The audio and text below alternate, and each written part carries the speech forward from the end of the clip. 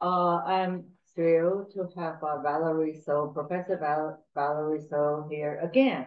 Okay, she has been here several times. Okay, the first time maybe two, three years ago, maybe two years, two years, two, three, two Three, years ago. maybe, Only three? Three years ago, yeah, I- I probably I changed everything. But uh, that's the, the beginning of the Mm. COVID period Yes. uh, discussing with us how to, do all this, uh, maybe screen documentary and, uh, documentary related, uh, issues, uh, theoretical, but also empirical, uh, practices.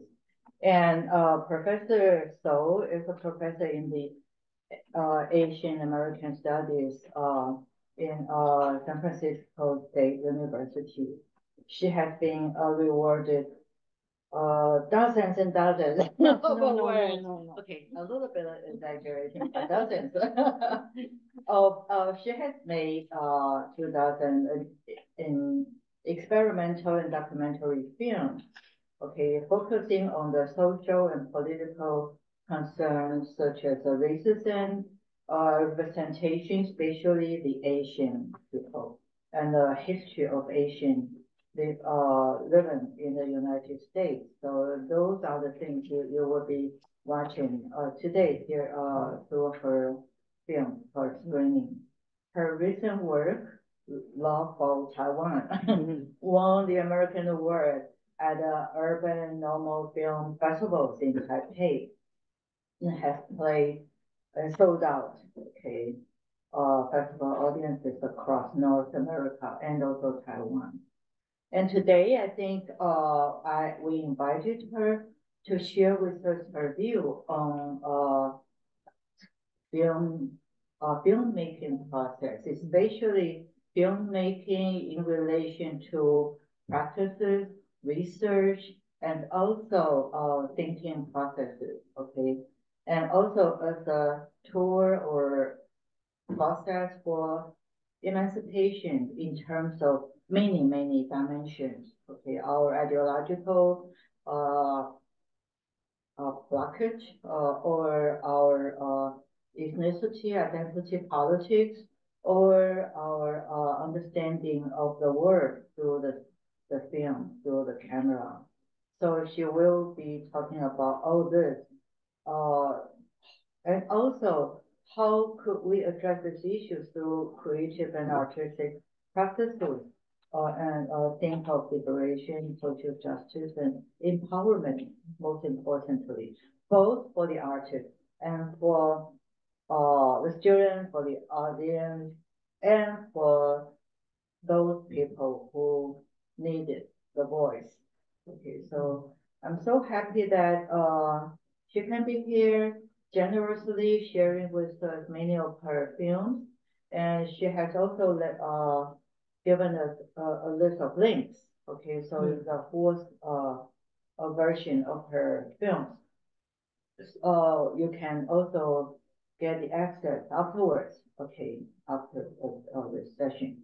And I'm also very happy to have Professor Dean Brink to be here with us as a discussant, okay?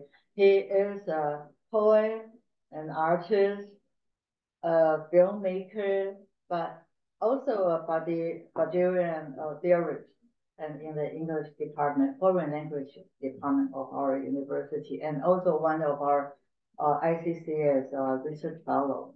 Okay, so welcome. Okay. So I, I, I believe there will be a very fruitful discussion today, both uh, between Dean and uh, Valerie, but also uh, among our students and also audience uh, online. Okay, you are all welcome to uh, join. So I'll give you the floor. Thank you so much, Professor Liu, for inviting me. I'm very excited to be back here at NYCU. Um, so I'm going to talk about my film work and also uh, just to- as an introduction, a little bit of a history of other uh, filmmakers who are using film in a similar way, documentary film. So, just whoops. Oh, how do we go forward? Oh, sorry. Oh, I get it. Okay. Okay. Okay, so this is sort of um the, the quote that I'm interested in looking at today. And it says, both study and struggle are necessary and intertwined components in our collective work towards creating emancipatory futures. And these are two Asian American um, scholars who discuss this in terms more of political activism and you know thinking about uh, how how theory and practice can intertwine. But for myself as a filmmaker, I'm interested in seeing how creative work and you know organizing and political activism are intertwined. So I'm going to just start with a very brief uh, introduction to some earlier Asian American films and actually one Taiwanese film, which I feel like does a very similar, has done a very similar thing. And then I'll uh, show some quotes from my own, from my own work as well. Okay. So, um, so uh, as you all probably know, there are many, many Asians living in the United States. I want to say there's something like, oh goodness, maybe more than 6% of the US population is now Asian. Mm -hmm. Yes, and um, it's grown exponentially since the 1960s when the immigration laws changed. Before that, it was less than a half a percent. And so it's jumped up quite a bit because the US immigration laws became much more lenient. So many more people came from Asia, from Latin America, from other countries besides Europe. And so, of course, now the United States is a very, very, very diverse, very multicultural society. And so Asian Americans, um, you know, they, there were Asian Americans living in the United States before the 1960s, um, of course, but, uh, and we'll see a film about some of those earlier Asians living in the US. But after the 1960s and onward, there's much more uh, of a demographic force. And so Asian Americans, but you know, they weren't necessarily represented in politics, in culture, and so forth. So um, one of the ways that Asians living in the United States try to increase their visibility, their influence, their voice in the United States was by making films, independent films, interestingly enough. And so it didn't start with crazy rich Asians. so, so I personally, I teach a class in Asian American film history, which starts in the 60s and 70s. And a lot of people don't realize that that's, you know, there are a lot of films from then. So primarily documentaries, but there were some feature films as well. And now, of course, it's very much exploded, like Crazy Rich Asians or every everything everywhere all at once, right? I'm sure you can just rattle off a million of them. Shang-Chi, that kind of thing. I wouldn't say that's an Asian American film, but it's mm-hmm. definitely a very influential Asian American representation. So, but you know, earlier than that, it was it was more difficult to see accurate representations of Asians in in film and television in the United States. There are very much stereotypical representations. Uh, Bruce Lee, of course, was very popular, so a lot of people thought all Asians knew martial arts. um, there was, of course, the geisha girl stereotype, right? Asian mm-hmm. women being very um, passive and subservient and uh, trying to please white men. um, there was the stereotype that Asians were um, enemies, right? Mm-hmm. Because a lot of the wars, if you think about between the United States uh, in the 20th century, were almost all against Asian countries, Vietnam, Japan, Korea, and mm. so forth mm. in the middle of the century. So Asians had very bad negative representations, a very stereotypical one-dimensional representations in Hollywood films. So Asian American filmmakers decided around the 1960s that they would make their own films. And they would try to represent their lives and their experiences more accurately. And so you can see here, we, there's uh, in the slide, uh, starting at the very bottom left and the upper right, those are people using very old technology. One person, I think, down in the bottom, and I believe that is Renee Tajima Pena, who's a, mm. we'll see a clip of hers, when she was very, very young, using um, a very old video camera. I think it's called a Portapak. Mm. And then upper right is uh, Curtis Chin, who is another filmmaker we'll talk about, shooting with a film camera, you know, like celluloid. And then we move into the middle, that's is John Bonus using a camcorder, and then of course, uh, Nashin Dabra using a really nice fancy digital camera pretty recently. So, all right. Do you wish to turn off a little bit of the light? Oh, maybe, maybe we could yeah. dim the lights a little bit, yeah. A little bit, mm. yeah. Okay, so the yeah, person okay, that I, oh, that's beautiful, thank you. The person that I talked about in the upper uh, right, Curtis Choy with the fancy film camera, he he directed this film in 1983 called The Fall of the I Hotel, the International Hotel. And, um, oh, actually, did I forget a quote back there? Sorry. I just want to make sure I go. So it says the Asian American media movement grew from the movements for racial and social justice and cultural affirmation of the 1960s. Mm. So again, you know, that was the time when there were a lot of younger people becoming very politically involved, and also a lot of Asian Americans becoming very politically, culturally, socially, um, gain, trying to have more of a voice and an influence. Okay, so anyway, I'm jumping a little bit ahead. So this film was actually, I believe they started making this in the early 1970s, and it took a good long time to finish. And it was about a struggle in San Francisco for tenants' rights, trying to save a group of elderly Filipino American men from being evicted from a hotel they had lived in, a residential hotel they had lived in for decades, near, right near Chinatown. And so many, many, many uh, people get, became involved. You can see in the bottom right corner, there's a, a picture of a very diverse group of protesters, you know, black, white, black, Latino, Asian, um, I think that at one point there were something like three or 4,000 people who would go every day and protest to try to save this hotel. And it was very much documented by Asian American filmmakers, including Curtis Choy, who worked in collaboration with a lot of other filmmakers. And so Renee Tajima the person who is in the bottom right, left corner, she's also a writer and a professor. And she wrote, and she says, early Asian American cinema released rather than contained the raw energy infected oops, sorry, should be that infected young Asian Americans, both artistically and politically at the time. Behind the camera, scores of Asian American artists and activists are listed in the credits for the Fall of the Hotel. Before the lens, the, in the Fall of the Hotel documents one of the most remarkable movements in the movement history, political movement. As collective memory, the Fall of the I Hotel is poetic and powerful. So um, yeah, so it was very important at that time to, to make a historical record of all of this activism and speaking out that Asian Americans were doing at that time, because there has historically been a stereotype, another stereotype, that Asians living in the United States are very quiet and passive and don't speak out. This is called the model minority. And, you know, and if you think about it, it's like we don't cause trouble. So this is very much Asian Americans causing trouble. Maybe what John Lewis would call good trouble, right? so, so that was in the through the started in the 1960s, moved through the all the way to the uh, late 70s for this particular movement, and then the film was released in 1983. Okay, so who killed, oh, there's a funny, who killed Vincent Chin? This is directed by Renee Tajima same person who wrote that last quote, and I will show you a little clip from it, the trailer. So again, documenting, uh, in this case, uh, the beating death of a Chinese American man by two uh, white auto workers who um, claimed it wasn't a racist act, but uh, the film argues that it was actually an act of, of anti-Asian hatred, right, and anti-Asian violence. So even back in the 1980s, this was happening. It's something that is very much a concern now, of course, in the United States for Asians living there. So um, uh, Jun Xing says the questions raised by the film are much larger than one man's guilt or one mother's loss. Who Killed Vincent Chin provides Asian Americans with a sense of, his, of historic, historicity in their current struggle for equality and justice, meaning that it puts the the past struggle in a historical context with out of development on tap. The Packer plant used to be one of the key. Okay, on share. All right. So again, that's just showing an example of an Asian American film that was very much um, politically involved and tried to take a point, uh, make a point and make um, speak out for the Asian American perspective about this particular issue. Um, okay, let's see. How do I get back to my slides?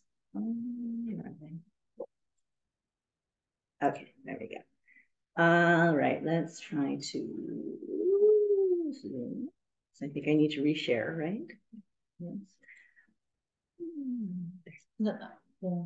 Actually, if you stop at the upper left hand, uh, yeah, it should work. Yeah, but never mind. Just go ahead. okay.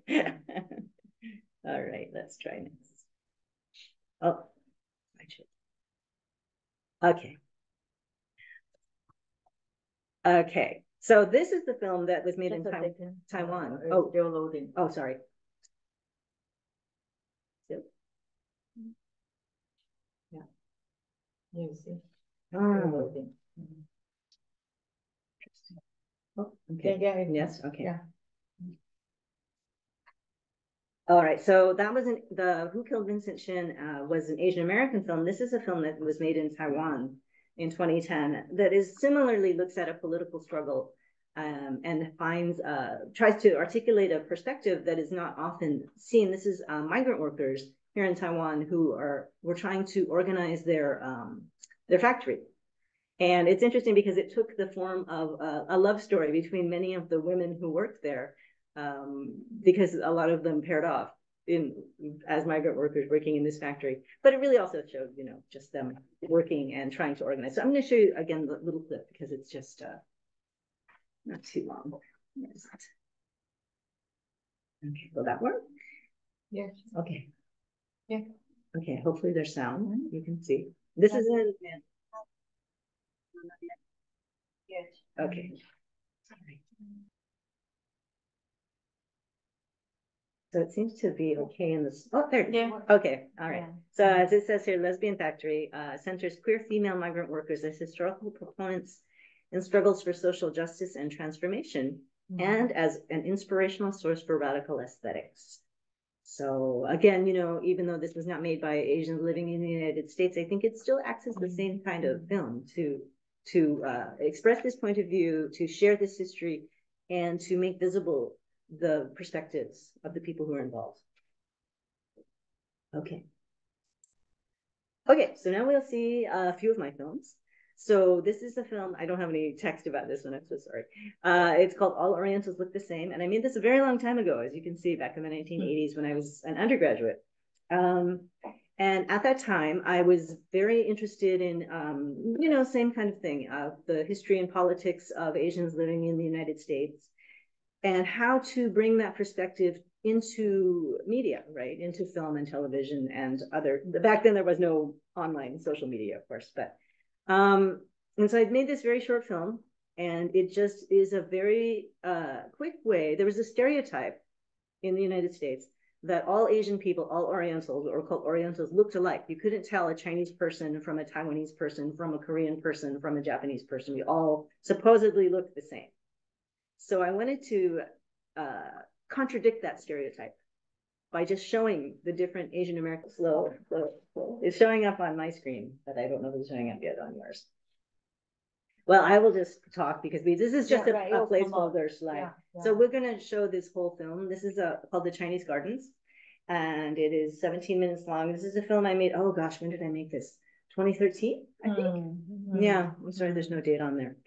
And um, so this is an interesting film because I made this when I was, uh, as Dean will talk about a little bit, when I was mm. staying in uh, the Pacific Northwest, which is the northwest coast of the United States, uh, near Seattle. So north of San Francisco, which is where I'm from.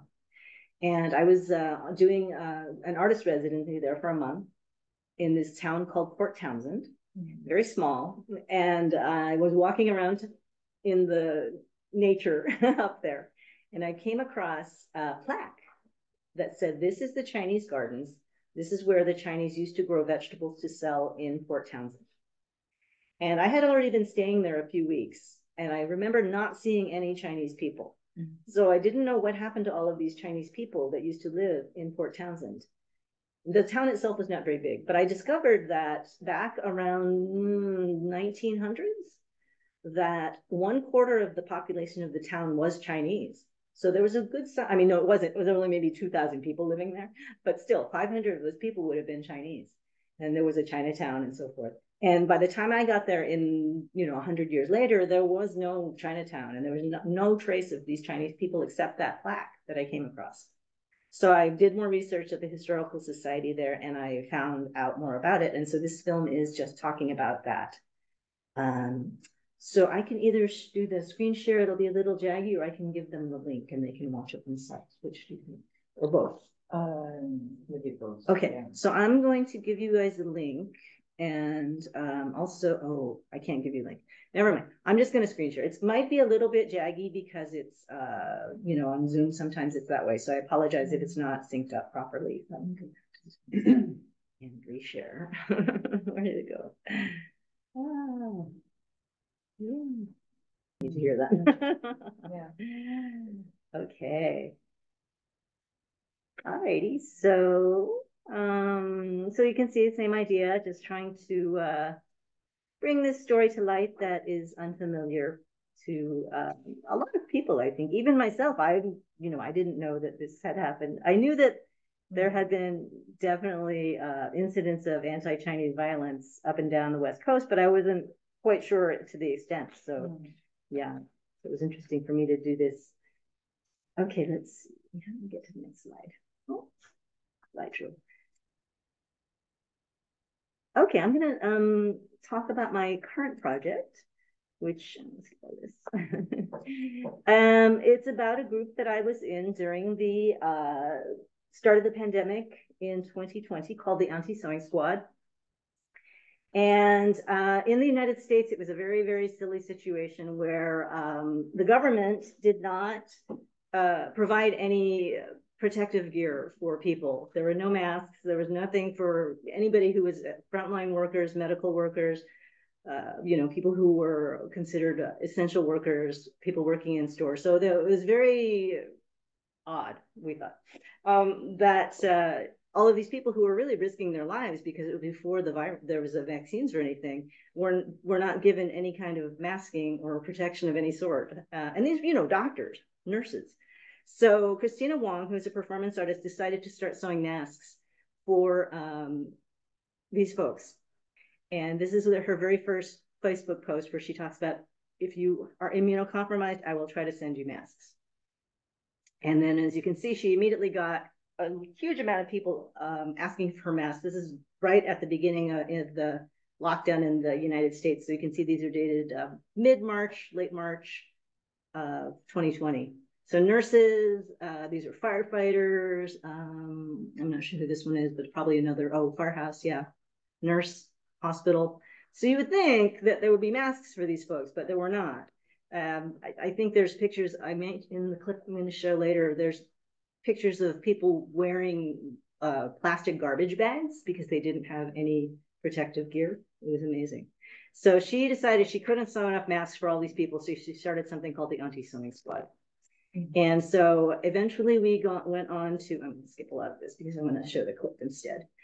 That uh, we went on to um, sew more than 350,000 masks and donated them to mostly what we decided would be at-risk communities. We started out giving them to people like hospitals and, you know, frontline workers. And then eventually the government and the healthcare system did catch up in a month or so and did start to provide PPE for folks. But then there were still a lot of folks who did not have any access.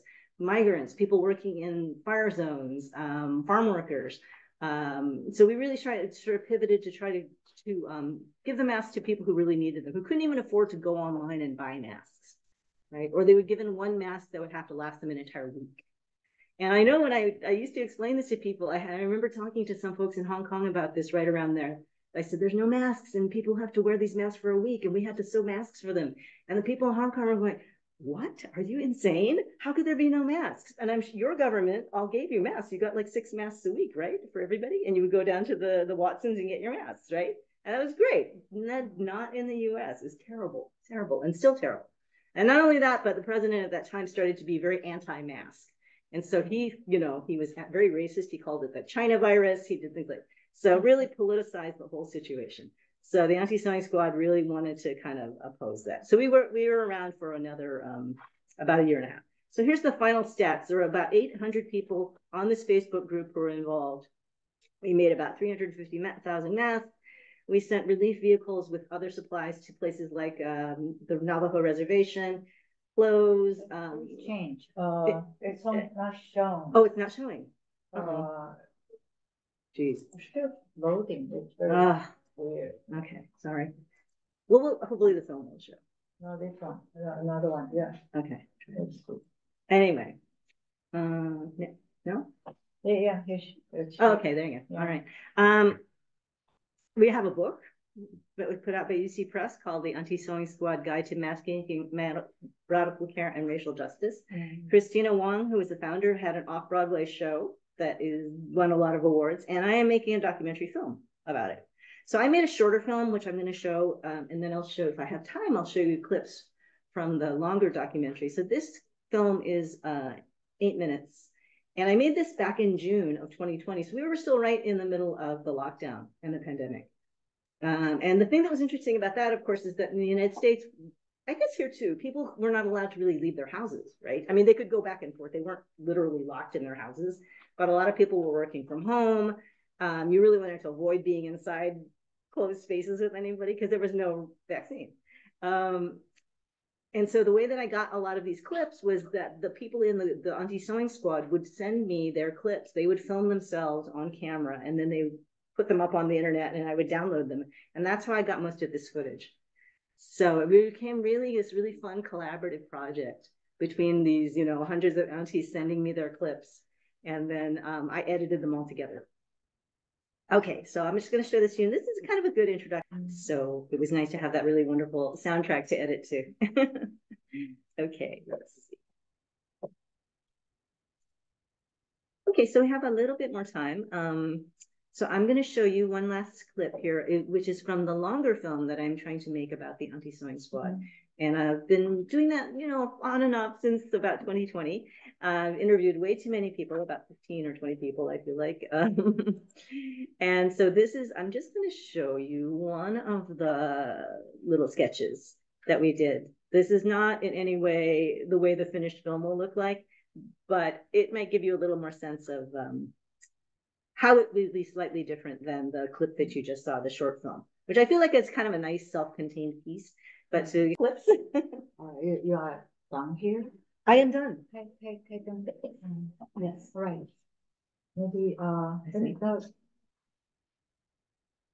Thank you so much. Uh, actually, uh, it's amazing to see how this, uh, uh, racial violence mm. could take place in our daily life or in the governmental policies from 19th century to 20th century till today, right? And also uh, how people would act out their uh, discriminative uh, exclusion openly, publicly, right? Mm -hmm. Killing not only uh, the black, uh, but also Asian people mm -hmm. uh, without uh, their uh, uh, penalty. Okay. And so I think in about the Valerie's uh, film, we can see that we, we try to think how to fight back in the isolated, unprotected corner, right? And also how to face the situation that's uh, actually uh, encouraged by the state, mm. by the government, by the president, right? And how to try to build up some sort of solidarity and self-empowerment, but also empowerment for other related uh, communities uh, bottom-up action. Okay, so we can also notice that how rich and flexible and uh, the document archive, uh, Facebook uh, messages, and uh, everything. Okay, that uh, a director can make use of. Mm. Okay, and also how to edit it in a very artistic way. Okay, so uh, I, I believe uh, Dean ha, uh, ha, uh, has a lot to share and discuss with you. So yeah, I'll give you the floor. Yeah. Okay. Yeah. So it was it was great too. Was, this is the first time for me to see the Chinese gardens. Oh. I saw the the other ones oh, and, okay. and, a couple others. So I have, I have, a lot of questions, but um, I'll, I'll uh, is that the best way to proceed? Is yeah, right. That comment question and then uh, uh, uh dialogue. Uh, uh, it's up to you. you. You can also put a list of questions, but uh, maybe pause in between. okay. Mm, yeah. yeah. And then you have more questions to to follow up. Okay. It's up to you. So just off the bat, before I forget, mm -hmm. in the um, the Tacoma aspect, so that was done in um, 2012, like 12, 13, right? Mm, yeah. And um, I just went back after 20 years, and my, my house in, in Tacoma is just up the hill from that, just a few blocks. So I, I used to walk there all the time. Mm -hmm. I took photos of um, Ken dolls when I was taking a photography class, oh. facing the ships, and I know they were going to build these the Chinese garden there. Mhm. And it was, that it was facing the two navy, navy ships that are parked there. They're supply ships, not uh, with weapons, but still it had a weird sort of feeling. And uh, during the organization, I was uh, arts commissioner on a volunteer committee and I got to talk with the people organizing the Chinese garden. And the issue was whether to have Chinese characters, like I told you. But um, since then, since that photo, it's been totally redone. Mhm. So the, uh, the garden has a pagoda. Yes. A nice, a nice, uh, setup, and there's a, many, um, uh, like bulletin boards that Mhm. have the history now. And so that wasn't there when you were there, right? I think it was in progress. Yeah. That's why it was still blank. They And- had the stru- the big structures were there, but there was nothing written on them. Oh, yeah. So, because it was probably 2011, 2012. Yeah, so years. it, Yeah. what's really interesting in, because it ties in with your narrative, it adds, it actually fills in how the uh, people responsible Mm. for organizing the putting Chinese on trains to Portland. This is why Mhm. Portland has this great Chinatown Mhm. part, part of this, this story. Um, they were brought to justice and they were uh, convicted. Um, However, there, there was a retrial and oh, what a shame. There was a mistrial. One judge was Oh. hung, one of the jury members was hung, and so they all got away. oh, So it's the same story over and over again. mhm. Um, and, but the way it's presented is, uh, not bad. Yeah, Mhm. really quite, quite moving. But I did notice there was, um, vandalism on the, the, the, the, uh, tigers, the, the Mm. stylized tigers in front of the pagoda. I noticed the ears were missing. Oh, really? Yep. Wow. Yep. Um, I just want, before I forget to mention those things. Mhm. And then I have, um, just a, a lot of little questions and some relate to the, the craft. Mhm. Uh, and then some are more just general. So going back to your student film, All, the All Orientals Look Alike. Um, it's, would you, because when I first saw it, I thought, oh, this is a conceptual art film. Yeah. But then it's really an activist film and you reaffirmed the Both. activist side. It's Yeah. both, okay. Mm. The next question is, um, my feeling is that Asian visibility has improved since Mm. nineteen eighty-six. Mhm. Also, the use of multiple headshots has appeared regularly more now with digitalized filmmaking. It's easier to do. And morphing and all sorts of things like that. Also, there's so many uncategorized, uncategorizable, is that a word? People today. Mhm. Um, and, and including myself and my children and so forth. Mhm. Um, uh, could you remake this today and achieve its original revelation of unconcealing the hidden truth of existence and diversity? Or is it more a product of its time, would you say? Mhm. And, um, and then I think you already mentioned this. How did you represent each nationality with one photo? They just have to be people you knew and just grab one. it seemed Right, like. they actually weren't matching with the, the names though. They were supposed to be unmatched. It, it seems to Oh. sync up in the beginning, but toward the end it falls out of sync. Oh, yeah, yeah. with the- Yeah, 'cause those- that time yeah. I couldn't find every single one of them. Those Oh. are mostly friends of mine. Oh, yeah. Um, um, yeah, so I just was wondering if it would change in the digital age Mm. with new, or if it would still have the same impact. Yeah, yeah, that's a great question. This is one more thing. But it doesn't work. Uh, Oh, you we'll share. Yeah. So those are, yeah, they're very good questions. I think, of course, it was very much timely at the time in the nineteen eighties because I used to Yeah, ask the question, how is this film different from what you see on television? And of course, now things have changed. First of all, it's in black and white, which was not common in television at that time. It was very short, right? At that time, people only watched sixty minutes or thirty minute shows. But then the main thing was that it was full of Asian people. And that was definitely something you didn't see on television back then, but now maybe more. But even so, it's not as much, it's not proportional to the population, I'm Right. sure. Right, yeah. Um, and yeah, I did, this is, I mean, this may be a little too, uh, technologically, uh, uh, detailed for some folks, but this was all shot in one take, and it was two slide projectors that I projected against the wall with a dissolve machine, because at that time, you couldn't do dissolves between images like that unless you had a very expensive editing machine. So now, of course, you can do that very, very easily on your phone even, right? Hmm. So, um, yeah, so it's very different. it was very different than it would have been made back then. Yeah. Yeah. Yeah. Famous. Okay. Oh, uh, I think, uh, yeah. Oh, great, great. Oh, great. Batteries. Okay. Yeah. Okay, thank you. Thank you.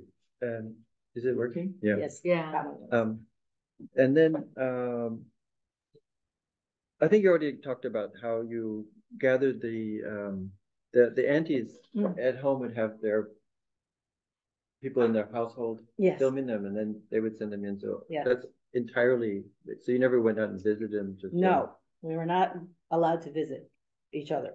Yeah, that makes. I mean, you yeah. could, but we would stand very far from each other. Mm, Yeah. mm, I mm, see. Okay. And, and then the Kronos Quartet, Mm. I was wondering, it came, because that one, it's also, I think, in the short version and in the longer Mm. version, the link that Joyce sent me, that there's a, the, where the, the, the vision into this, the square, the, the quadrangles and, and then Mm. it all sort of comes to a climax there Oh. with the music. Mhm. And I was wondering if you thought of that division and quad, quadrilinear from the Kronos Quartet music, or if you just happened to edit it so it, Oh, I'm, I was definitely trying to match the, the, the tone of the music, whatever the music was doing at that Mm, time. mm, You know, and I really love that, that piece because it's very energetic. mm. And interestingly enough, they picked that piece of music for us, the Kronos Quartet, and it's a Filipino-American Mm. composer, a Mm. young composer in New York. So it was really appropriate, I thought. But yeah, I mean, I think the music helped me to pace the film and Sure. to make the visuals match. And Mm. yeah. okay, um, yeah. And, uh, thank you. Um, That, that also makes a difference. The Yes. Music, yeah, the Yeah. rhythm. Mm. There's, I there there was, uh, Grace also in Yapa. And Um, you- we already, We didn't watch their. Yeah, and, but I, if it's okay, so there's this Grace character, Mhm. she's a, a Korean American. And she talked about how she felt like she was participating in the narrative of her mother who had Right. experienced, uh, World War, the- not World War, but the, um, Korean War. Korean War, uh, Yes. which I could relate to because my mom experienced World War II as a German. Mm. And, and so I, I, I just thought there was an interest, interesting tension uh, there of how we relate to each other through our family histories and Yeah. folklore and have this shared commonality that transcends these racialized tendencies within society. Usually we'll think of them as aligned, but I think Mm. there's something going on with my own experience Oh, that's bringing great. to it Yeah. that Yeah. uh, shows a potential for using family history against the grain in this way. I think it's really, yeah, really fascinating. Yeah, so um Dina's talking about the, another person we didn't see talks about not only her grandmother in Korea having experiences where people helped her out, her grandmother out under great duress during the war. Uh, but she also talks about the um, garment workers. There were, when Asian women came to the United States, many of them were seamstresses. They worked in garment factories. And so some of the people who were in the auntie sewing squad, their parents or their grandmothers might have been seamstresses. So that was kind of, this is a way to pay tribute to the workers who came over from China or Vietnam or Thailand or wherever. And, you know, it was a nice way to connect to our own personal histories. Yeah, Mm. Yeah. yeah. Uh-huh, yep. Okay, and, um, and then I like her line, she says, I wondered where the government was. I mean, this Yeah, is, they're that all was waiting the- the government. That's what I was talking about, how we Yeah. didn't have any, we didn't get the masks spread-. Given to us. Mm. And it was very frightening because. I mean, people would go out, with they would have bandanas, you know, or whatever. pull up Their Mm. coat, or they just didn't go out at all. But for the people who had to go out, like the grocery workers, you know, or the people of the farm workers. Very, very scary for them. So that's what we were really kind of trying to address. Because we were lucky enough, most of us were, you know, middle class, we could stay home and stay in our houses. But what if you had to go out and work? What if you were what they called an essential worker? Mm. Or, you know, healthcare people? Mm. you know? Exactly, yeah. And also Grace talked about the, uh, sharing the joy of sewing and helping others, which is really beautiful, Mm. yeah. Mm. That's something I really would like to hopefully um explore in the longer film, and I think in the short film you see it too, is just that we were all separated physically, but we came together on social media, right? And we were so close to each other. And then when I finally did get clips from people, it was very much, it- everybody was so enthusiastic. They wanted to send the clips in.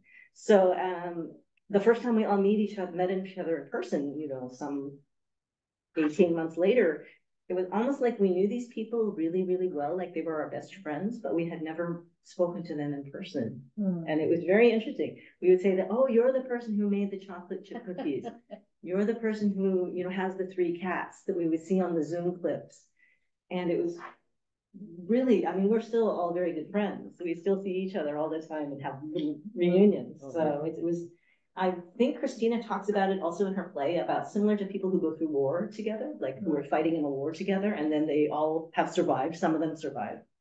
And then afterwards you meet up and you just talk about the war all the whole time, the rest of your life. Mm. So, yeah, I mean, I think that that was a similar situation. We were able to build this really strong bonds with each other uh, when we were physically separated. Mm. It was quite amazing. Yeah. Yeah, but I was, I was thinking more in terms of the, the jouissance of, um, doing something on the one hand to, um, escape the, the, the sense of suffering. Oh, And then how, when depressed, helping others is actually Yes. such a big relief to oneself in that, but, and then Yafa, and I can't, I didn't write down the exact quote. Yafa, towards the end of her segment, you have, uh, something to the effect of the pandemic leveled the racializations that manifest divisions in Americans Mhm. among them. I can't remember exactly what it was. heard that part. But Yapa was one of the people who received the mask. She was a nurse, a healthcare worker. So she had a really different story, but she might have talked about that, just feeling that people were, that she didn't know were helping her out and reaching out and trying to support her, even, you know, whatever their racial background or ethnic background. been. Yeah, so something like that. Okay, and then I have more general questions that I just thought of after talking with you last night, walking home. Oh, right. Um, uh, how, how do you plan your interactions with interviewees? Do you, do you have certain categories or distinctions or a semiotic array of working concepts around which you conceive of questions to explore, or perhaps, perhaps is it more of looking for a certain visual or auditory cues that are interesting, or something that work well in the film?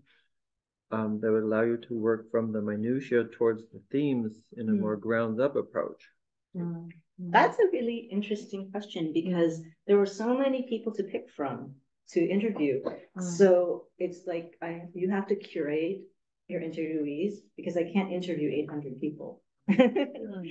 So certainly I try to find, you know, geographical and age, um, gender, um, you know, their immigrant status. Try to find people who have interesting stories, um, who look, who speak well on camera. You know, sometimes, but you, sometimes you don't know until you interview them. Um, that's when I made the, the, the short clip, it was interesting because some people were really great talking to their phone. You know, they were wonderful and you would never have known just by talking to them on a Zoom. So it, it just depends. Yeah, that's a good question. As far as asking the questions, I think I try to keep in mind sort of the bigger content or themes that I want to focus on throughout the whole film. But if someone goes on a tangent or someone talks about a certain aspect, then I try to delve into that. And that's more just an interviewing technique. Mm. Um, if any of you have ever done any oral histories or anything like that, interviewed subjects for your research, you know, sometimes you'll, they'll, you'll ask them one of your preset questions and they'll say something that is very different than what you wanted to talk about, but it's so interesting. And so the key is to be able to have enough presence of mind to follow and not lose your thread. So, um, it's, it's challenging because then I'm, you know, they're on camera and they're very nervous and I'm very nervous. Uh, and there's, it's very expensive to hire the camera crew and you're thinking, oh my God, the time is running out. I have to do this interview. So, uh, I have a lot of notes though, notes that I keep. But, um, but it's, it's very much like a performance, I think, when you're interviewing people. It's, it's like you're, you have to interact with them and draw that, draw out their performance as well as your performing too, like you're doing a duet with them. Oh. oh. This is how you can do it, yeah. Oh, thank you. That was very enlightening. Mm. And uh, this is about a film that I haven't seen, Oh. but I've seen online. You can find uh, inter interviews with you about it, and uh, I think a, a, a sneak previews type of a Oh, uh, some Mm. sort of short. And it's the Love Boat. one? oh, right, Love Boat Taiwan. Love Boat. Yeah. And it so happens that I've been hearing of my wife's trauma as a Taiwanese Oh. having to to cater to the needs of the uh, Spoiled Americans? yes. Yes. And, and also the fact that her, her family is not, um, KMT supporters, but, Oh. but had to pretend to during that period. Mhm. And it has all these complications, right? Mhm. Yeah, Yeah. and because it's, you, you were, it's like in the PRC today, you cannot be outside of the PRC, even if you're outside the party, you Yes. can't declare it or anything Right. like that. And, During um, martial law, it was very restricted. Yeah, Yeah. and, um, so I wondered if that, because I didn't see the film, if that, if you, if you covered send you a link. their, their, their, their point of view. And, and then, and then for the students, I think you, if you're not familiar that, so for the KMT, this was a form of soft power. Mhm. But for the Taiwanese promoting democracy was actually complicated. It wasn't necessarily against their interest because it eventually did lead to this opening because they required to distinguish Taiwan from the PRC and, Right. and, and so forth. Um, but it was also a form of legitim, legit, legitimizing the one party rule against these force of democracies out, the Dong, Dangwai, uh, people, right? Um, so just, uh, so in, in any case, um, the, the, yeah, if you cover it, that complication of the point of view of the, Of the um, Taiwanese? Taiwanese host. You know, yeah, there are, I talked to several counselors, Taiwanese counselors. Of course, all of them were children of KMT officials, so they maybe did not have quite as much of a perspective because it was very much a KMT project. Uh, but even so, some of them were very interested in seeing the American point of view about Taiwan. And then they learned more about, um, some, one of them talks about understanding the struggles of it- Chinese in America and how, you know, there's a lot of discrimination and racism and that when you live, when you're the hegemonic culture in Taiwan, you don't think that much about it, right? If you're Taiwanese or Chinese, you don't think that much about that. So, um, that was interesting to me. Uh, I think also the, the, some of the Taiwanese talk about how they did not like, like your wife, did not like these American kids coming to the, to Taiwan and really just running rampant over Taiwan, like Taipei. And they thought they were very rude and they thought they were very privileged and they thought they were very spoiled, which they were. Um, and so, you know, there was, it wasn't all, not everybody in Taiwan supported this program because it was quite expensive. Also, the government paid for a lot of the expenses for these one thousand American kids every summer to come over. So, you know, they say, well, why aren't we paying for things that people in Taiwan need? Why do we have to bring these American kids over? So I think, yeah, it was definitely more controversial than, than we think. Well- Well, I didn't mean to put it down. Maybe Per- just Personally, I have no maybe, uh, opinion. Uh, would, would you like to, uh, just say, uh, briefly what, what Ah, is it about? What is it uh, about? For the sake of the Sure, other, sure. audience, Yes. of course, I will saw it, but, uh. Yes, so there was a program that was sponsored by the Taiwan's, Taiwan's government, starting in the nineteen sixties, mostly by the KMT, that brought hundreds of Chinese American and Taiwanese American kids to the, to Taiwan for the summer. And, um, it was supposed to be a language and culture training. Uh, you know, we would visit monuments and such, but it also became very popular in the United States as a way to have, uh, romance. Because these are college age students that come over here, they get to spend six weeks here in Taiwan. And so the nickname of the program was the Love Boat or the Taiwan Love Boat. And um, it went on for several decades. I think it didn't, it went until the 2013, 2013, uh, but it was mostly popular in the eighties, nineties and two thousands, early two thousands. Um, so I did the same thing as with the aunties, that I tried to find as many people as I could and talk to them about it and uh, just figure out why this became such a big cultural phenomenon. I went on this trip when I was in college. Why it was such a big cultural phenomenon and um, why it was so popular, and then what it meant to the people who came over here, how they became, I mean, the love, you know, thing, you think love is romantic love, right? But it was also for them, it was like learning to love Taiwan and learning to love themselves and learning to love their culture. So it wasn't only just romantic love. So I thought that was kind of a nice way to think of it as well. Yeah. Thank you, yeah. Yeah, is, is that enough? Uh, Sure, sure, sure, just, uh, yeah. for people to Yeah. know, uh, Mm. but no, no, no, you're quite, Oh. you, you can continue, go Oh, on well, I don't, question. oh, well, I don't You have a whole lot, but, um, yeah. I was just, now I understand you more now, so I don't, I understand why you would not do this, but it, because of homelessness is so, there's a little bit of homelessness in Hsinchu if you go around the Mm. station, but in, in America, it, it's huge. And, and my Mhm. brother-in-law in the Bay Area said San Francisco is really bad. Yeah, and Seattle, any warmer parts of the country, Yeah, and Tacoma too. yes. But Mm. I was wondering if you, I mean, like I, I would guess that it would be uh, too obvious and not a, there's no story, no undertone to the story, but I wondered if you would, how would you um, suggest other people, if not yourself, would do a film about homeless people? Oh, in relation to the films that we saw, or just? Just you as an artist, uh, Oh, my giving advice to goodness. students? Well, I mean, I always like looking at sort of the broader systemic structural issues that cause things like homelessness, you know, it's not necessarily, oh, these people don't want to have a job or they're mentally ill or, you know, they're lazy. Um, you know, you have to think about why can't they afford housing? Why can't they afford to find a place to stay? Why can't they get a job?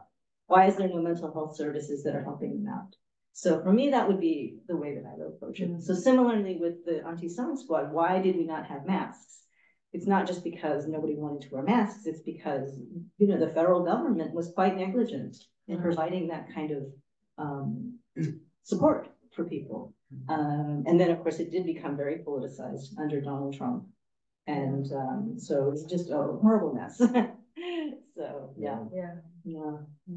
Okay, yeah, that makes sense. Uh, Mhm. Would Get- you like to make a documentary on homelessness? Ah, it's a big topic. Uh, if, yeah, when I retire and I have time, if it's still around, yeah. I think that there are probably many people who are, are still interested and have made films about that, definitely, yeah. But it's, it's a big problem, but again, it's a symptom, it's a symptom of Yeah, greater issues. Systemic and Mm, symptomatic. mhm, That's yeah. Certainly. Capitalism, it's a problem with capitalism, of course, if you want to But, be uh, broader, There are indeed an increasing number of homeless. in Taiwan. Not only in the. Oh, in the US, States. of course, yes, very, very bad. Yeah. Yeah, and um, I mean, some people point to the start of uh, Reaganomics back in the eighties because he shut down a lot of mental health facilities.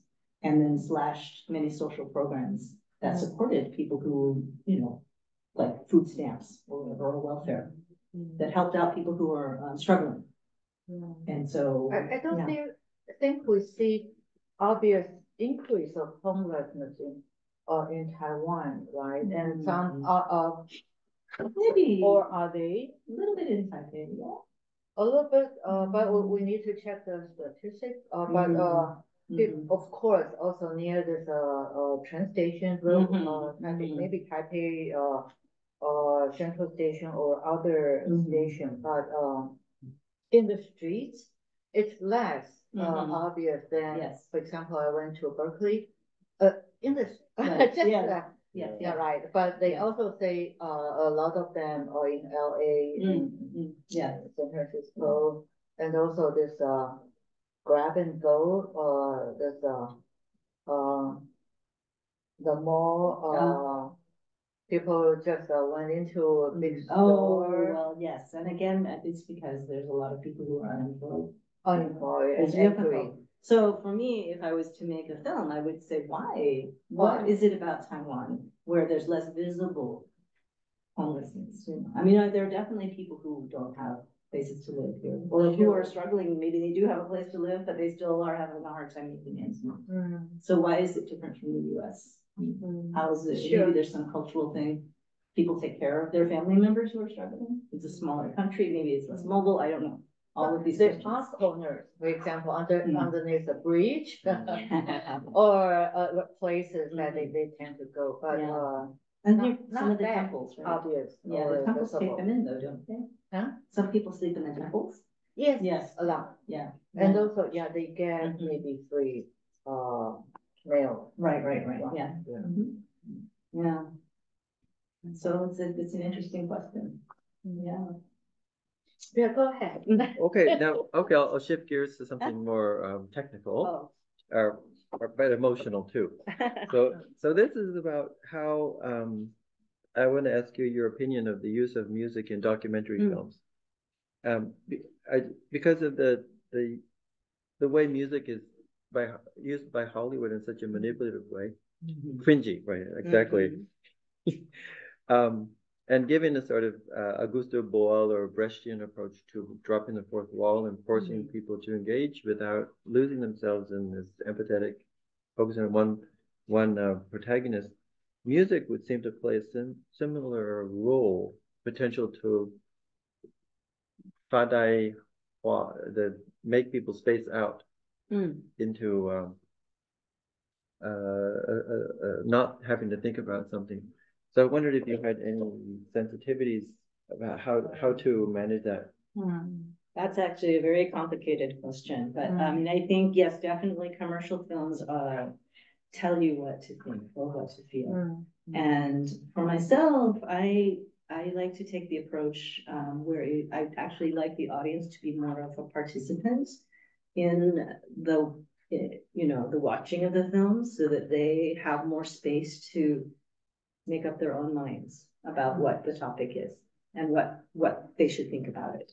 So many times I will have many different characters who talk about different perspectives, you know, they may be, um, conflicting.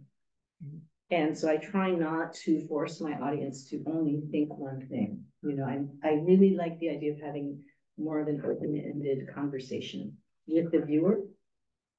And, um, and I know that that's definitely not something that is encouraged with commercial filmmaking, you wanna have, I mean, it's literally called a Hollywood ending, right? You know, this expression, the Hollywood ending, where everything is tied up, the narrative is resolved, happy ending, uh, all, everybody's narrative story is complete. Um, but of course, in real life, think there is no completion, you know, we don't have like a tidy resolution in real life.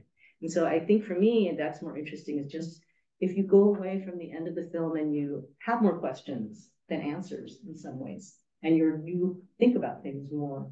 And that's what I personally like to do with the films, is just make, hopefully stimulate people to think and to form their own opinions Hmm. and not tell them what to think. That, that that's what my impression was. So Mm. I'm I'm so Yeah. yeah.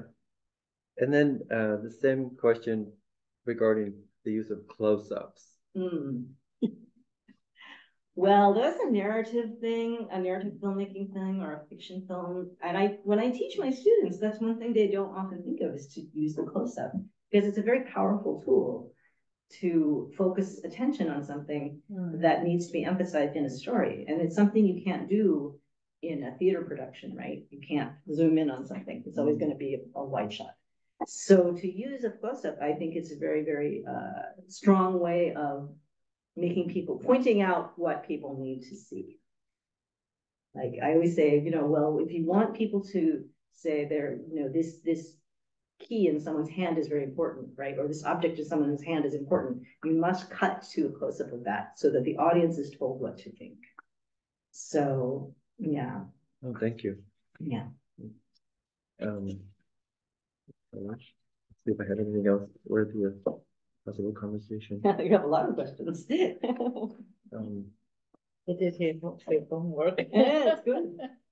But we have questions from the students. yeah, do you? Also. Yeah, I should I should relent the floor. Are you? Yeah, yeah, yeah. I I I want to as soon as possible, but kept getting dragged back in. Oh, Really, really. Let, let's check around uh, and see, uh, whether we have uh questions from the student, uh, and also online, but, uh, I do think this uh, documentary and uh, filmmaking and also, uh, how much,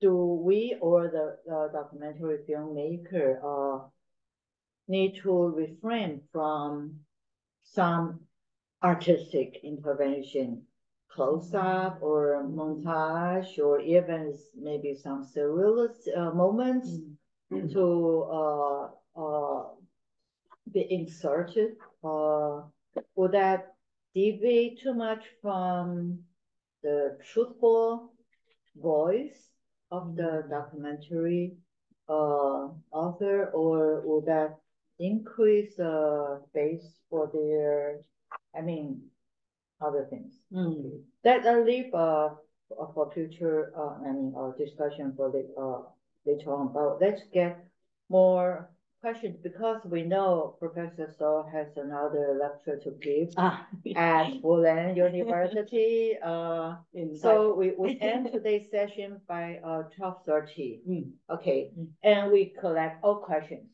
All right, so raise questions, uh, as much as you can.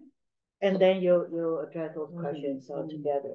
Oh, okay, so, okay, yeah, go ahead. Now, uh, Mike, Oh, uh, here uh, we can, uh, circulate that, okay.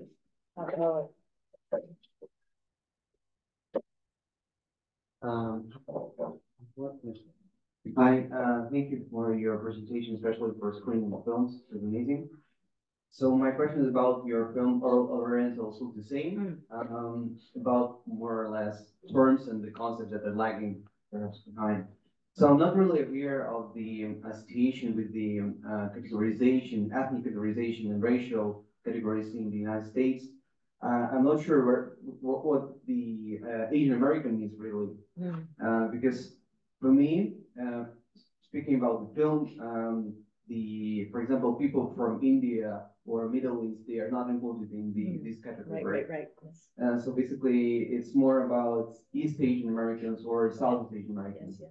Um, so, uh, so you're trying kind of to break uh, through this term uh, Orientals or Mm. Asian Americans and kind of replace it with different, Mm. more complex identities, right? Mm. But still, uh, I think that uh, identities like Japanese or Chinese Mm. are still quite ambiguous for me. I, I'm not sure. So, do you think that you kind of um, doing this notion of naming people Mm. by using these identities to kind of reproduce this uh, notion of uh, i- Mm. and maybe alienating them, um, not just judging by maybe their personal biographies. Mhm. Um, for, for, because for me, like, I know, Chinese is still quite complex, right? So basically, who are the Chinese people? Mhm. I, I, I don't really. Mongols. Yeah, yeah, yeah, yeah. So basically, yeah, I, I, I just stop here. I just stop here, I leave here. Um, I will, yeah, I stop here. That's, that's really an excellent question. Uh, of course, this was made in the mid eighties, so. Uh, now, of course, there's many, many, many immigrants from South Asia and, uh, West Asia even, right, or all sort of Central fall under this Central blanket, Asia. yes, yes, yes. Um, so, but, you know, nineteen eighty-six, we were less enlightened, I think. I think also there was probably a smaller percentage of South Asians, I wanna say between two thousand and now. The population of South Asians, so India, Pakistan, Bangladeshi, you know, Yeah, Sri Lankan, right. in the United States has increased eighty-one percent. Almost double, Hmm. so huge numbers of people from that region. So I, yes, if I had to remake it, I would certainly put those folks in there. Yeah, yeah, I think that's a good idea. But you know, and of course it does privilege East Asians and Southeast Asians Sure, to some sure. degree. Mm. So, and there's a big issue, you know, why don't we talk about these brown Asians, you know, in the United States? Yeah. Why is it only the, the fairer Asians that we're discussing? So I mean, yeah, that's very, very, very much, uh, something that is now being talked about, you know, and we try to think about it, but in nineteen eighty-six, maybe we were less And aware. and other great experimental film, I think that's amazing. Yeah, exactly. Already. Yeah, Yeah. no, I mean, it's definitely a time, it's, it's a product of its time. Sure, absolutely. sure, Yes, yes, that's a very good question. Yeah. Other questions? Uh. Hmm. Huh? Question? Yes. Yeah, go ahead. Yes. We can talk about, uh, the tract. Whatever you like. The like. scene, Yes, whatever you or are curious editing, or other things. Yeah. Yes, I was wondering if you're uh currently working on any projects, or are there any future projects that you might want to work on? Hmm. Well, I'm trying to finish the longer film about the auntie sewing Squad, which I've shot a lot of it now. Um, I still need to shoot a little bit more. So I'd say maybe shots 80%, 85. Um, and then the editing process is, takes a long time. Mm. So that would be the major project. But I am I have this sort of second project that I was thinking about in here in Taiwan, where I've been talking to um, some Tiwa. Yeah, Tiwa and uh, Nanyang Sisterhood. I can't remember yeah. their real name. Yeah. uh, uh, the. Uh, Xiao, Xiao it's it's tea something. Tea tacit. Tacit. Yeah. So ta yeah. Anyway, migrant workers in Taiwan. Yeah, yeah. Who come here and then they're making creative work. So like Lesbian Factory uh, is from Tiwa. They produced that as their documentary film and they got their constituencies to work on that. And then Nine Nine Sisterhood or Tacit, whatever their name is.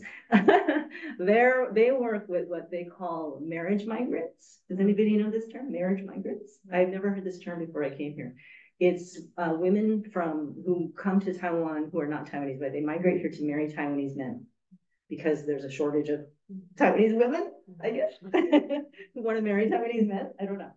But so, you know, there's a lot of women from Southeast Asia who come. And, um, you know, they go through similar things that migrants to the US go through. So to me, it's kind of interesting the parallels of these people who are displaced or who have to come here for economic reasons. I mean, I, of course, you would like hope that some of the migrants are here for romantic, but it's probably political and- and monetary, right? They have to make a living and support their families. But anyway, um, so I'm interested in that, and that would be a project that I'm hoping to do after the auntie sewing squad film. But that might be not for another two, three years. It takes a long time.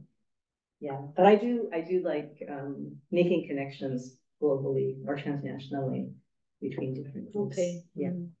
Uh, there, uh, could I have a mic? Uh, I speak, uh, for one, uh, question, uh, on, on the Oh. chat room, but also, uh, maybe a few questions, uh, for our students. The first one, uh, is here. Mm, based on your presentation, uh, I acknowledge that you are trying to engage with documentary films exposing the theme of racial and ethnical uh, discrimination or marginalization on the Asian immigrant. I was could say I, I literally in, uh, uh, impressed with the simple but creative technique you use for all Oriental look the same, especially the repeated man vo- voice on the sounding uh, theme. Uh, simply simple, but it would, would emphasize on the producer's uh, uh, text meaning uh, that no, these people are not the same totally. They have their own individual identity of ethnicity, race, and culture. I would like to ask if you have any relation with the themes of gender, sexuality, which make the immigrant uh, stuck with the intertwined by both racial and sexual discrimination. For example, uh, someone who are Asian, homosexual, or queer immigrants. Uh, first question, to what extent this documentary film could support them with uh, emancipatory from the subordination under the aspect uh, of in discriminative, uh, this interdisciplinary when they are not only oppressed by the ethnically Hmm. by the ethnical uh, ethnicity, but also their gender identity.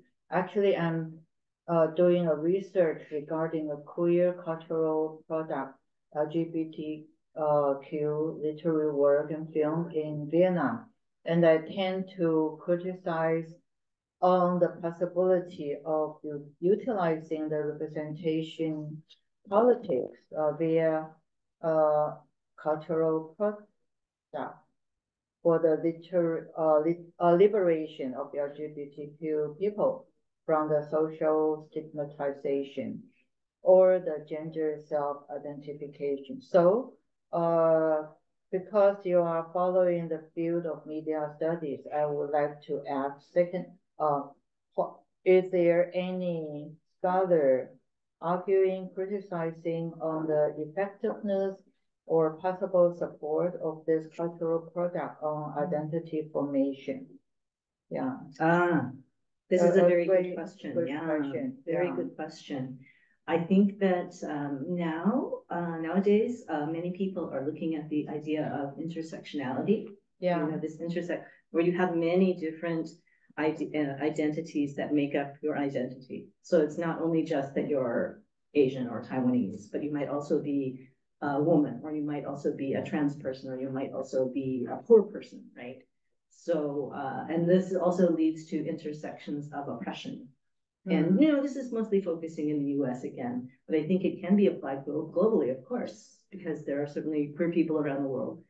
Um, so I think that the most interesting work for me now is work that does look at that intersection, those intersections, and don't just focus on a single identity.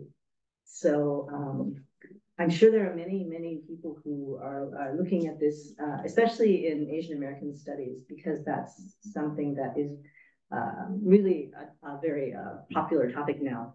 Um, but what you're doing, if you're doing work in Vietnam, that's also really interesting because another thing that many people are doing now in the US is looking at things more transnational. So not only just focusing on the experiences of Asian in the United States, but how that also relates back to Hmm. Asians who are still in, who are in Asia, right? Mm. Because it's all connected, I think, it's very Yeah. global now. So, uh, translocality. Sure, sure, Yes, sure. translocal. So, um, thinking about how many of these things can find, uh, expression across borders and within borders as well. So, yeah, and within identities and across identities. Mhm, Hmm. Yeah, Especially when, especially uh when in some or most Southeast Asian countries, Mhm. this gender issue or Mhm. sexuality issues are still very much Yeah. a ban. Okay, Yes. very much. Uh, either it's because of uh, Confucianism or Islamism, patriot, patriarchy.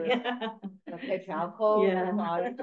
and everything. Yes. Right. Very- So, uh, in this uh, more conservative, uh, context, I mean, uh, Mhm. politically and also, uh, ideologically, uh, it, it's, uh, also more difficult to address, but Mhm. still we need to do it, right? So, uh, maybe let, let me, uh, we have fifteen minutes left. Mm. I, I, I bring up, I'll bring up some, a, a quick question, Mm, okay, and see how you will address, okay? Oh, but I, actually, I do want to add a little bit more about this, uh, Yeah, queer Asians question. yeah, Many people are saying that, uh, you know, homophobia is not inherent in Asian cultures. It's actually a Western colonial construct. Because if you look at, for instance, like, uh, Indian art from pre-colonial times, there are many representations of same-sex love, right? Uh, do you all know the legend of the cut sleeve? In Chinese culture, right? The, the emperor who cut his sleeve so his lover wouldn't have to, right? And so that's same, same-sex love also. So um, a lot of people say, you know, it's really not that Asian cultures are inherently conservative or, or religions. It's that it's brought on by this Western colonialism, which I think is a really interesting thought. You know, you can't blame everything on us. It's not all our fault. So, okay, now you have a question. Are there- bring me back to the another question, no, no, no, no, Oh. uh, I think, Mm. uh, but in post-colonial, Mm. Uh, independent nation state, they inherit the colonial They do, practices. they do. It's, there's no way that they're not polluted by it. Yes. So, uh, people say, uh, in the Indonesian ethnicity, there are a lot of, uh, bisexual or, Mm. or trans, uh, Mhm. people, but, uh, it- nowadays, uh, it's not really, uh, allowed or Yeah. encouraged, not, Yes. not to say encouraged, but, uh, it's still very much Yeah, it's very complicated. Uh, very, on the one hand, they have the, for example, talent too, okay, they have Mm. the performance, uh, performers or singer, public figure, but in daily life, they are still very much, uh, legally Right, suppressed. yes, yes, Yeah. yes. Uh, okay, uh, in addition to what I said, the artistic, uh, I mean, so-called artistic, that might be, uh, for example, some uh, other, uh, documentary filmmakers, they will use Mm. this, uh, very, uh, like surrealist moments, Mm. okay, montage, and Mhm. other, uh, moments to maybe juxtapose or to sharpen the, the contrast Mhm. or or extend the, the imaginative uh, space and so on. So it's not just, uh, uh, document. Mhm. Okay, but, uh, that's, uh, my curio- curiosity, okay. The use of montage and the close, up and, uh, outer space scene and so on, okay. But, uh, a couple of, uh, quick questions. For example, a student wants to do a very short video essay on BL images, okay? Uh, literature or a cartoon or um, manga or other things. Uh, what would be the data or archive you would think of, okay, to add it? The other thing is, but of course, it's a popular uh, in Korea, or Thailand, Taiwan, Hong Kong, everything. Okay, uh, or people want to work on uh, Indonesian uh, uh, female artists intervention on this uh, gender inequality because of this uh, uh, uh, the Muslim uh, law or uh, another thing. Uh, what would be the images of the archive of data you would think of in your mind? Or the other possibility would be uh, if a student wants to work on uh, a document, uh, video essay on Wang Bing's cinema film. Okay, Wang Bing who made this uh, Xie Xi and then other uh, documentaries on this uh, Cultural Revolution oppressed or uh, persecuted people and making uh, uh, several films. So the documentary, uh, screen documentary, that is, uh, they don't really interview those people, but they use this uh, screen image to make the documentary, okay, or maybe other possibilities. So, uh, ten minutes, Oh. just uh, this uh, brainstorming, I and you as a very uh, yeah. experienced uh, filmmaker, uh, what would you, if that's your project, what would you do? You know, I mean, for me, it's so interesting what my students come up with because I feel like you all are so much more experienced now with finding images on screens and so forth than than I am at this point. I mean, everybody knows how to find search and use search engines and find every image. I'm always amazed at what people can come up with so quickly. You know, sometimes I'll just say, well, I'm not sure what this is. And someone will go on Google, oh, here it is. You know, immediately, immediately, like seconds. And I feel like I can learn so much from these younger people now who have your visual vocabulary is so much broader than when I was your age or even when I was older. You know, in the past 10, 10 15 years, it's just like expanded so much. Um, I can't even keep up. so um, I'm just curious. I mean, what do you all like to see more conventional documentaries that are longer, or do you would you rather have a like TikTok or you know or a shorter film? Is that something that is like are, is that the kind of visual language that you're attracted to? Hmm. Mhm. Or is it, or do you like to be immersed in a longer film? Mm. You know, where you have a whole hour and a half to really stretch out and look at every tiny detail. Like the Tik- TikTok too short, too long, or whatever, three minutes, seven minutes, twenty minutes. I'm, I always wondered that. Um, That, Yeah. that, that's, uh, think more, uh, concretely. Now we are, uh, encouraging students to practice, a video essay for about, not just three minutes, Mm. but fifteen minutes. Content or thesis, mhm. okay, just like a research paper, Right, but the right. thing, a thesis statement, but with supporting, uh, Mm, mhm. visual archive and data Yeah. editing, edited, okay, and that can be published. There are Mhm. many uh journals that Mhm. really accept uh video essays. Yes. So, um. Yeah. How would you say to to the, tho- those are the cases, my my student, my work. Mm. I think I would say maybe try to be, to listen to what you feel like you want to say and how you want to say it. I mean, it's good to know the basics, you know, how to tell a story in a, the conventional way, but don't be afraid to be unconventional. Don't be afraid to try something new. Uh, as long as it doesn't become incoherent. I mean, if you want to think of it, maybe, uh, this is sort of a silly analogy, but if you're baking a cake, you know, uh, there are some things you do have to do that to make that cake rise. You know, and you can try, oh, well, I'm going to put in vinegar and ketchup. Will that help it rise? Because that's what I feel like I want to do. And maybe it will, maybe vinegar and ketchup will work, but probably it won't. So, but maybe there'll be someone who thinks, I'm so tired of cakes that have sugar and eggs. I really would like vinegar and ketchup.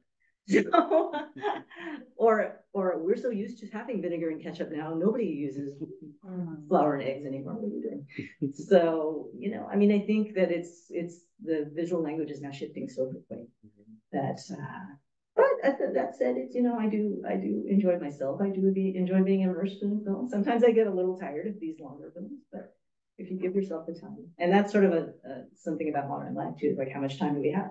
Do we have thirty seconds? Do we have three minutes? Do we have an hour and a half? Probably not an hour and a half, right? Can we run it on two times speed and watch it that way? So, yeah. So I think that, yeah, it's, Yeah. it's, it's tricky. I think you have to, in some ways, I feel like you, if you start knowing the basics of how to make that cake, then you can then improvise and ad lib your cake later. Mm-hmm. But don't feel like you only can make the cake that one way. You know? You can embellish the cake as you like. Hmm. Yeah. Thank you so much. Thank you so much. Thank We you. all know that uh, actually shooting the segment also mm. is a process of research and learning and mm. thinking, right? So just like our reading books or poems or watching performance.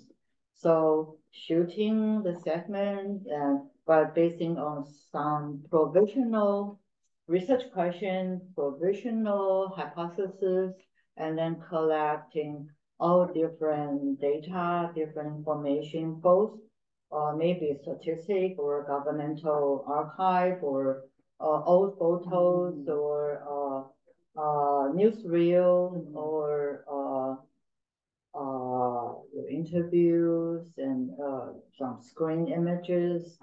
And then to consider how you want to compose an essay, okay, through this uh, cutting, editing, uh, and so on. So that actually people say this is a research by practice or uh, practice uh, based uh, filmmaking or practice based research uh, or thesis both way. Okay, Yes. because we cannot separate our uh, thinking and our artistic uh, intervention and our um, uh, production. Okay, Yeah. so it's all together. Thank you so much. It actually inspired a lot of possibilities. Yeah. Let's give, uh, Uh, Professor Sorbo- Thank you so much, everybody. It's nice to have you. I brought postcards. If Yeah. anybody wants a postcard, I have. Yeah, right. Yeah. Let- Let's, uh, share. Yes, you. there are many, so please, I'll leave them with you if you want to. Sure. Yeah, sure. Yeah. So we'll start our class now. Okay, thank you so much. Just. Oh, thank you. I do have a DVD player. Sometimes I get